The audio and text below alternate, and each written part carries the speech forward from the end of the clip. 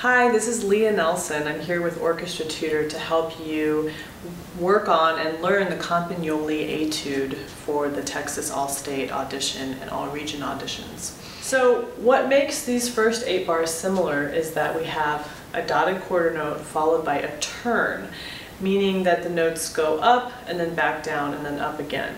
And you can see that that happens, this pattern happens over and over and over again. So the first one Here's the first one that we can just play all in half position.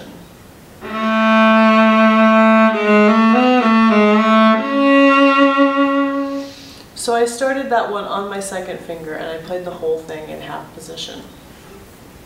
So it's important to note that the pattern of the turn in your left hand is usually the bottom two notes are touching and then there's a whole step between your second and third finger or if it's two, three, four, two and three are touching, and you have a whole step between three and four.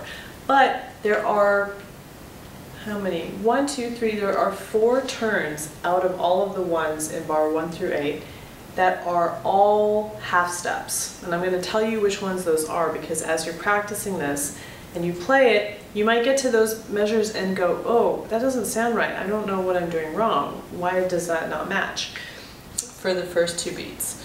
So we have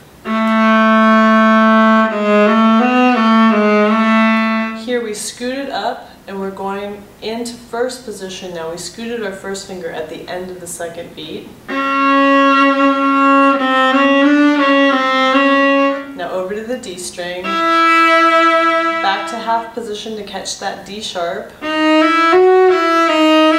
shift up to third position for the A.